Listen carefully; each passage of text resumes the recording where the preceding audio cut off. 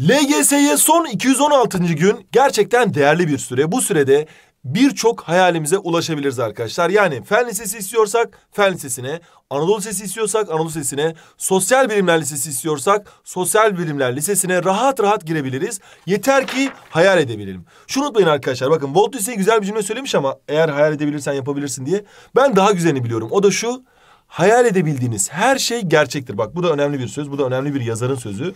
Hayal edebildiğiniz her şey, hayal edebildiğiniz her şey gerçektir. Yani insanlar uçan arabaları hayal ettiler, bunu da gerçekleştirdiler. Benim çocukluğumda cep telefonu bir hayaldi. Böyle imkansızdı yani. Normal rrrn diye telefon çalardı. Alo anneciğim böyle konuşurduk biz. Ama hayal edebildiğimiz her şey gerçek oldu. Dolayısıyla sizin fen lisesini, Anadolu Lisesi'ni, Sosyal Bilimler Lisesi'ni, Anadolu İmam Hatip Lisesi'ni fark etmez. Hangi lise olursa olsun hayal ettiğiniz her okulu kazanabilirsiniz. Yeter ki hayal ettiğiniz kadar ders çalışın. Yani ciddi bir şekilde çalışıp hayallerinizdeki okula ulaşın. Hemen günün beğenisine daha doğrusu günün sorusuna baktığımızda Ceylin Gomez, Selena Gomez'in akrabası muhtemelen 454 tane beğeni almış. Diyor ki Fen Lisesi için günlük programımız ne olmalı? Çok basit. 24 saat şaka. Günlük programımız şu olmalı arkadaşlar Fen Lisesi için. Öncelikle 90 tane sorunun 50 tanesi sözel, 40 tanesi sayısal.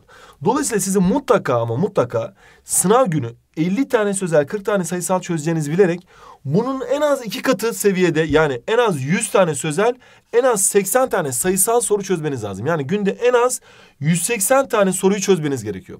Bunların kaç tanesi Türkçe olur, kaç tanesi e, matematik olur? Bu tabii ki o anki işlediğiniz konuya bağlı. Ama şuna eminim ki her gün mutlaka en az 180 soru çözmelisiniz. Çünkü sınavın iki katı zorlukta bir soru çözümüne beyniniz alışacak ki sınav günü 90 soru hop çıkıyor bitirebilirsiniz. Bu bir.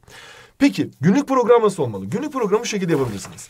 Gün içerisinde mutlaka mutlaka paragraf sorusu çözmelisiniz arkadaşlar. Paragraf sorusu çözmeden Türkçe'de tüm soruları doğru yapamazsınız. Yani bu kelimeyi söylemek istemiyorum bir Türkçe öğretmeni olarak ama paragrafı fullleyemezsiniz. Yani Türkçeyi fullleyemezsiniz. Paragraf çözmeniz lazım.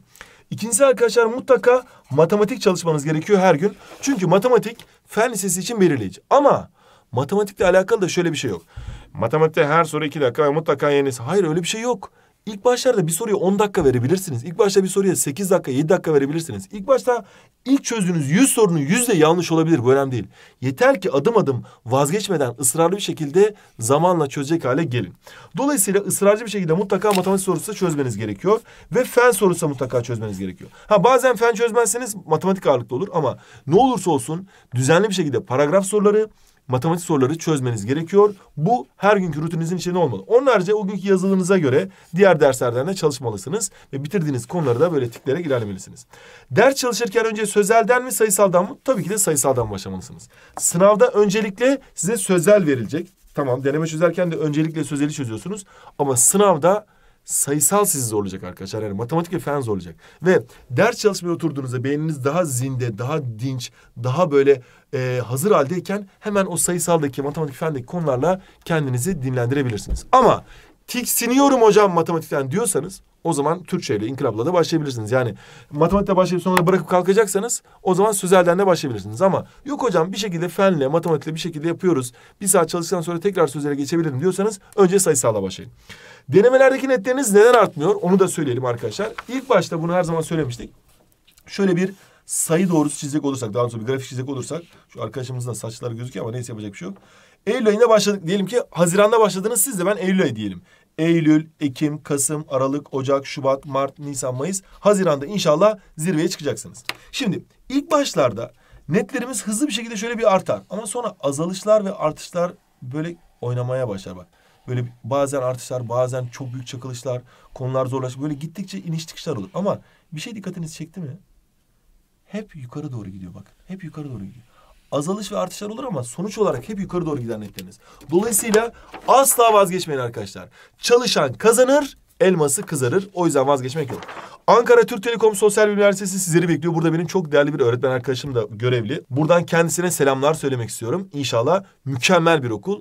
İnşallah çok güzel, başarılı olacak öğrencileri de bekliyor. Hazırlık ve dört yılla beraber beş yıllık bir eğitim var.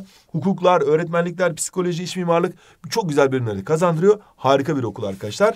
Tabii bu okula girmemiz için de ders çalışmamız gerekiyor. Ders çalışırken de doğru kaynaklarla çalışmamız lazım. Haftanın kaynağı da dinamo setimiz. Dinamo setin en büyük özelliği tüm dinamolar bir arada olduğu için daha avantajlı bir şekilde size ulaşıyor. Ve diğer bir özelliği de kutu açılımı yapmaya çalıştığımızda içindeki kitaplar zor geliyor bakın. İçerisinden din e, soru bankası çıktı ilk başta. Bismillah diyelim. Hemen ardından İngilizce soru bankamız, Dinamo İngilizce soru bankamız, Dinamo Sosyal soru bankamız yani İnkılap Tarihi, Dinamo Matematik derslerin şahı, Dinamo Fen derslerin feni ve Dinamo Türkçe derslerin en büyüğü tabii ki yani Türkçeyi en başa koyuyoruz. Türkçe dersimiz çok çok önemli. Neden önemli? Çünkü Türkçe ile başlayacağız sınava ve en güzel soruları çözmemiz lazım. Dinamo Soru Bankası'da da hem orta hem üst seviye her branşta çok kalite sorularımız var. Soruların çözümü de uzman hocalar tarafından sizlere detaylı bir şekilde anlatılıyor. Bu altı kitabı daha avantajlı bir şekilde Dinamo Ses sayesinde alabilirsiniz. Müfredata yani LGS'ye yüzde yüz uyumlu ve son derece kaliteli sorular var. Yani birçok soruyu 2021 LGS'de bu kitaplar yakaladı arkadaşlar. 2022 LGS'de yine güncellenmiş haliyle tüm soruları yakalayacaklar. Ödülü soru yorumlarınızı bekliyoruz. Bizler öğretmenler olarak sizlere kapıyı açacağız ama çalışarak içeri girecek olan sizlersiniz. Hadi bakalım iyi çalışmalar.